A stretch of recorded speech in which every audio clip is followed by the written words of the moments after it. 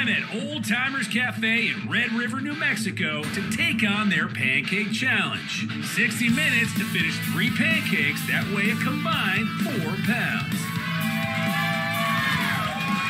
Between the chocolate and maple syrup, I'm facing the dreaded sticky mouth. And it's slowing me down. All right, you're on your last pancake. Pancake to go with 20 minutes left, but I'm running out of space. Not a lot of room left in here. Slamming down the first two cakes was like running headfirst into a wall, and I'm starting to feel woozy. Without realizing it, I've reached full capacity.